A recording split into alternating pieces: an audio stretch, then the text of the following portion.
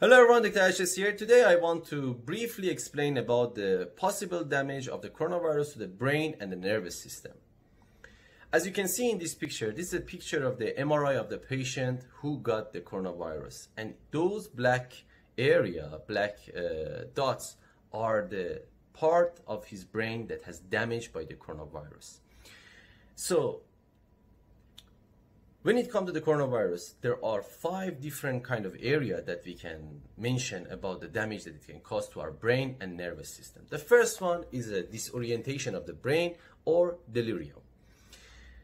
This kind of condition mostly happen at the beginning of the infection, but and it will be recovered after the after recovery from the coronavirus infection. But in some cases it continue, which you need to pay attention to it. The second one is inflammation of the brain or encephalitis. In this kind of situation, uh, mostly because of the inflammation that happen in the tissues, the oxygen delivery will interrupted and that can cause long-term damage to the brain. And the third one is a blood clot. The blood clot, as you all know, uh, the coronavirus can attack the red blood cell and cause them to clot. These clots can circulate inside your vein and reach the brain and cause the stroke.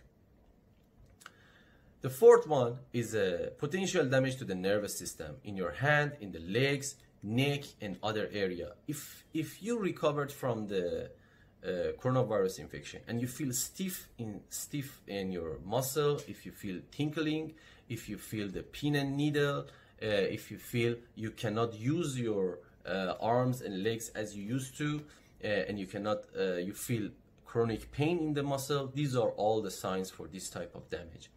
And the last one is the depression.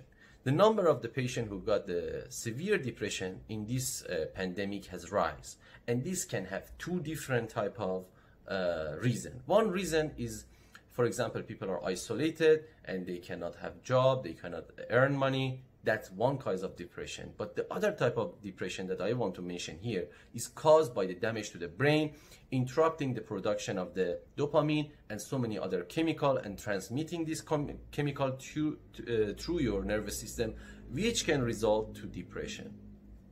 So in general, what are the signs that should alert us that we need to seek professional help and it could be linked to our uh, it could be linked to the coronavirus damage to our nervous system and our brain. One, nausea and disorientation. Second, if you have a problem with your vision, you can see with one side, but you cannot see with another side. And you feel blur, you see blur, and you forget how to use your phone. You forget how to use the device such as a remote control that you've been using every day. So these are very dangerous signs. It alarms you that you need to seek professional help.